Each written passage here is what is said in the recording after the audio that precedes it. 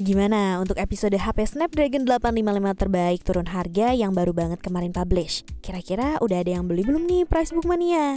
Kalau udah kebeli, nih dia cuma ucapin congrats. Tapi kalau belum bisa buat ngebeli, ya udah keep smile and gaul aja ya brother and sister. Siapa tahu nanti ada rezeki nomplok datang tiba-tiba kan?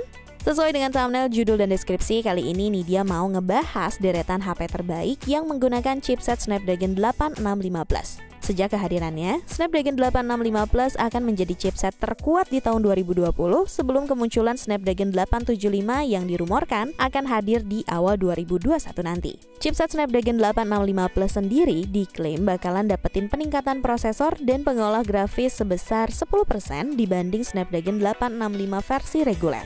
Jadi kalau untuk masalah gaming dijamin auto ngacir deh. Tapi kira-kira selain gaming, apalagi keunggulan dari HP-HP yang bakal Nidia informasiin kali ini ya? Langsung aja kita simak yuk sayang.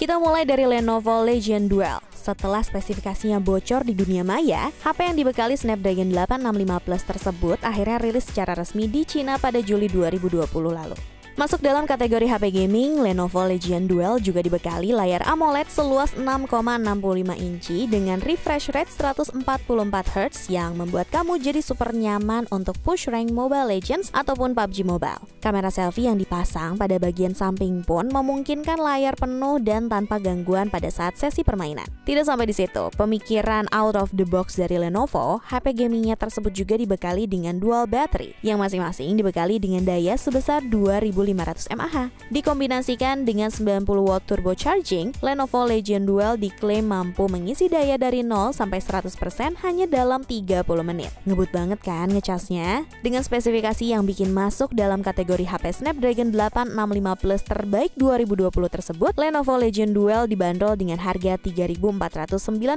yuan atau berkisar 7,3 jutaan untuk varian 8 per 128 GB. Sedangkan varian yang paling besar yaitu 16 per 512 GB dibanderol dengan harga 5.999 yuan atau berkisar 12,5 jutaan. Tapi untuk perilisannya di tanah air pun saat ini belum ada kepastiannya ya price bookmania. Untuk spesifikasi lengkapnya ada di sini berikut.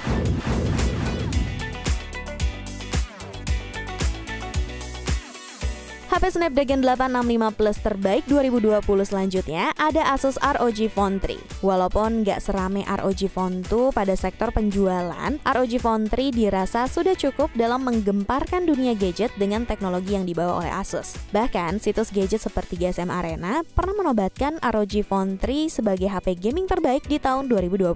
Dengan RAM LPDDR5 dari ROM UFS 3.1, ROG Phone 3 mampu menghadirkan kinerja keseluruhan yang yang begitu baik dan memberi pengalaman bermain game yang super mulus. Bukan hanya dinobatkan sebagai HP gaming terbaik di tahun 2020, HP yang dibekali dengan baterai berkapasitas 6000 mAh ini pun sampai saat ini menduduki posisi teratas dalam hal skor Antutu. Chipset Snapdragon 865 Plus yang dikolaborasikan dengan RAM storage 16 per 512 GB berhasil mendapatkan skor Antutu mencapai 647.919 poin, yang akhirnya menjadikan ROG Phone 3 sebagai raja Raja Antutu untuk saat ini. Dan beruntungnya, tidak seperti Lenovo Legion Duel, ROG Phone 3 sudah rilis secara resmi di Indonesia. Nih, kalau mau lihat harga terupdate dan spesifikasi lengkapnya, ada di sini berikut ya.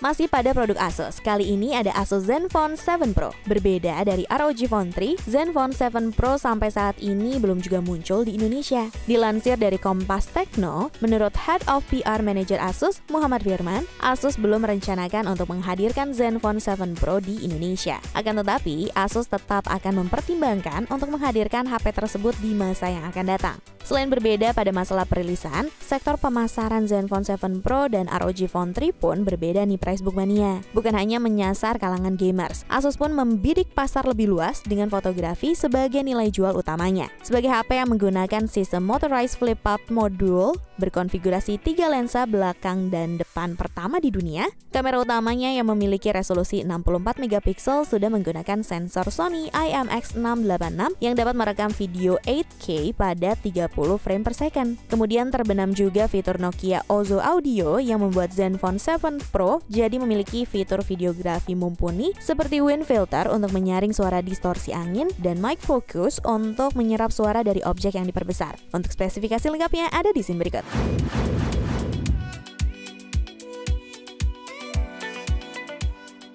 Selanjutnya ada Samsung Galaxy Note 20. FYI nih guys, HP Galaxy Note 20 yang Nidia maksud ini untuk yang versi Amerika Serikatnya ya Price Bookmania Karena yang versi globalnya, Samsung menyematkan chipset buatannya sendiri yaitu Exynos 990 Di negeri Paman Sam, untuk mendukung segala aktivitas gaming dan multimedia Galaxy Note 20 dibekali dengan chipset Snapdragon 865 Plus yang dikolaborasikan bersama RAM berkapasitas 8 per 256GB Untuk menyamankan pengguna pada saat streaming Netflix, Samsung juga menyematkan layar ber berteknologi Super AMOLED Plus yang membuat HP dengan layar seluas 6,7 inci tersebut memiliki kerapatan pixel 393 ppi dan aspek rasio 20 banding 9. Samsung juga menghadirkan stylus bernama S Pen yang memungkinkan penggunanya untuk mencatat, menggambar, ataupun melakukan navigasi dengan cara yang lebih simpel. Nih, ini dia kasih harga terupdate-nya dan spesifikasi lengkapnya di scene berikut.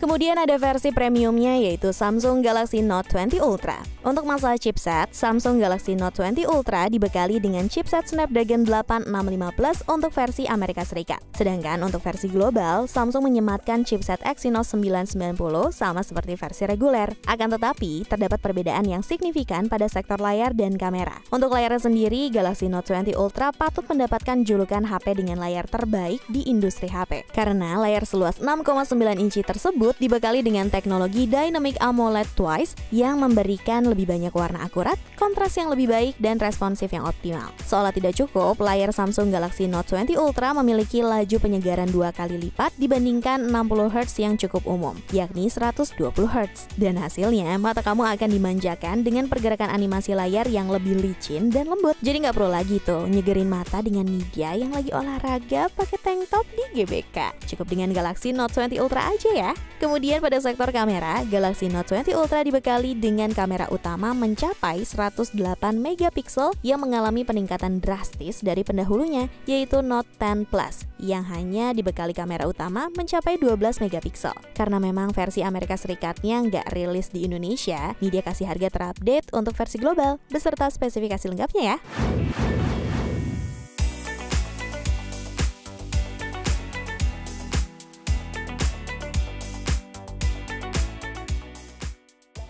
Kemudian ada HP lipat dari Samsung, yaitu Samsung Galaxy Z Flip 5G. Dibanding versi reguler, Galaxy Z Flip 5G dibekali dengan sejumlah peningkatan spesifikasi. Salah satunya pada sektor chipset. Alih-alih Snapdragon 855 Plus seperti di versi reguler, Galaxy Z Flip 5G kini dipersenjatai dengan chipset Snapdragon 865 Plus. Untuk versi 5G sendiri baru tersedia di berbagai negara, tapi tidak termasuk Indonesia. Tapi untuk sektor lainnya seperti baterai, kamera, dan layar, Samsung Galaxy Z Flip versi 5G dengan versi reguler tidak memiliki perbedaan sama sekali. Samsung Galaxy Z Flip 5G dibekali dengan baterai berkapasitas 3300 mAh. Kemudian dengan keunikan layarnya yang bisa dilipat, Samsung Galaxy Z Flip berhasil mendapatkan penghargaan dari ASA Awards 2020 sebagai HP dengan kategori HP lipat terbaik di tahun 2020.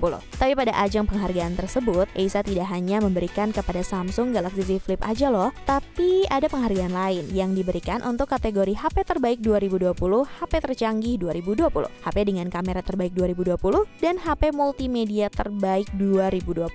Untuk tahu HP apa aja yang menjadi pemenang ASA Awards 2020, kalian bisa ceki-ceki di pojok kanan atas ya guys. Karena versi 5G tidak rilis di Indonesia, nih dikasih harga versi regulernya beserta spesifikasi lengkapnya aja ya Price Mania. Check!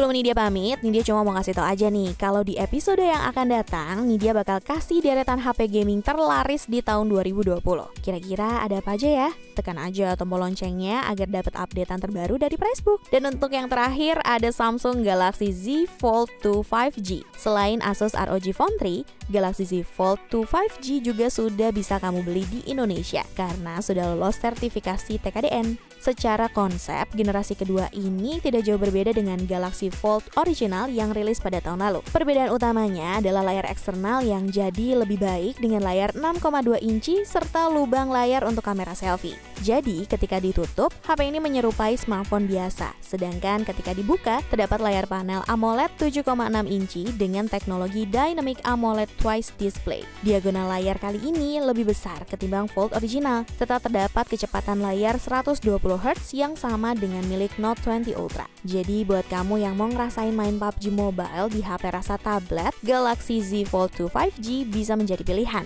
Tapi itu juga kalau ada duitnya ya. Kalau nggak ada, ya udah lihat harga dan spesifikasi lengkapnya aja nih biar nggak penasaran.